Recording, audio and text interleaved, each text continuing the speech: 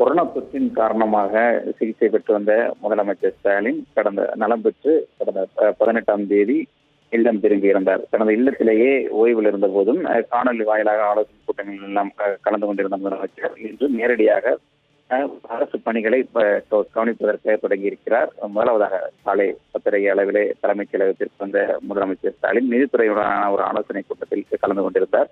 இதனைத் தொடர்ந்து இந்த நாற்பத்தி நான்காவது செஸ் ஒலிம்பியாட் போட்டிகள் தொடர்பான ஒரு ஆலோசனை கூட்டத்திலும் முதலமைச்சர் ஸ்டாலின் கலந்து கொண்டிருக்கிறார்.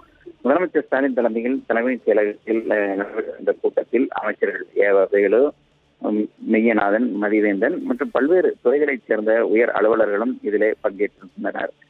இந்த இருபத்தி எட்டாம் தேதி இந்த செஸ் ஒலிம்பியாட் போட்டிகளுக்கான தொடக்க நிகழ்வு சென்னையில் நடைபெறவிருக்கிறது. பிரதமர் மோடி ஆளுநர் ஆர் என் ரவி உள்ளிட்டோரும் இதிலே கலந்து கொள்ளவிருக்கிறார்கள். என இந்த விழாவிற்கான ஏற்பாடுகள் குறித்தெல்லாம் முதலமைச்சர் கேட்டறிந்திருக்கிறார்.